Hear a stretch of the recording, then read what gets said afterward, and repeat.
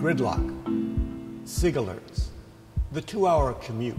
You might say all our troubles began here with the tourist automobile of 1902.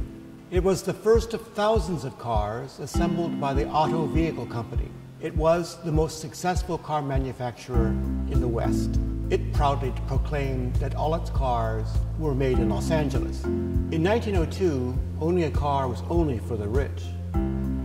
By 1915, 55,000 automobiles crowded the streets of Los Angeles. It was the car owning capital of the world. By then, the Auto Vehicle Company had stopped making the tourist automobile. They planned for the future and intended to make electric cars.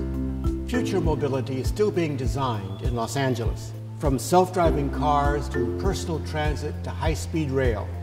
Innovation in transportation since 1902. I'm DJ Waldie at Becoming Los Angeles at the Natural History Museum.